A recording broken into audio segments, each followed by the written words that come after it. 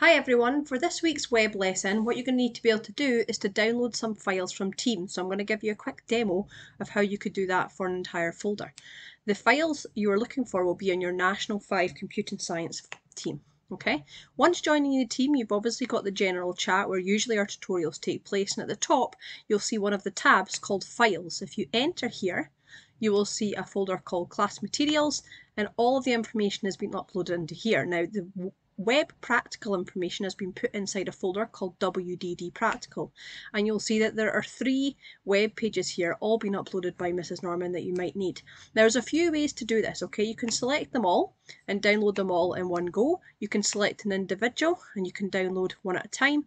Or what you can do is you can go inside a folder and you can download all of the information inside that folder as well. So it's entirely up to you, um, just depending on how your computer works and what works easier. I'm going to show you how to download all of this and to put it into a folder called Cricket1 that you can then use as part of creating your web page. Okay, so I've highlighted all my files by clicking on this button at the top, or you can click them individually.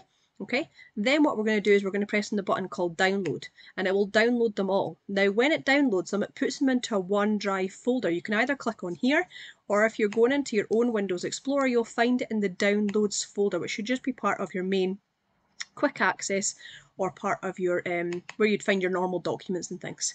Now because it is multiple bits of information that's been downloaded in one go, it comes in a zipped file. Now sometimes, depending on your computer, you can open this file and you can literally just copy and then paste it out to where you want it to be. So if I, for example, went here and created a new folder called Cricket one, went inside here and I pasted it, Okay, I've then got all that information. Now, some people's computers won't let them do that, and what you have to do is actually extract the information. You can see the big extract bit up here because it's a compressed file, okay?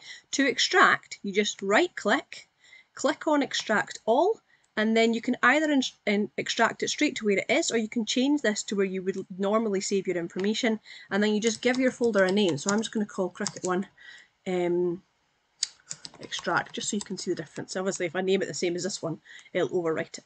Okay, press extract. It's then extracted it. You can see it's popped up and showed me all the information.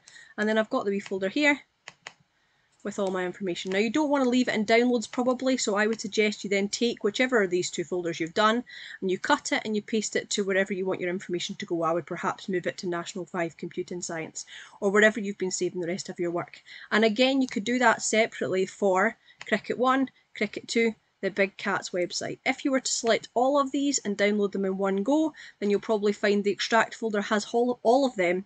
You need to try and extract the information out of the inside. It can be a little bit more complicated, but again can be done and it's sometimes just a wee bit jiggery pokery based on um, how your computer works.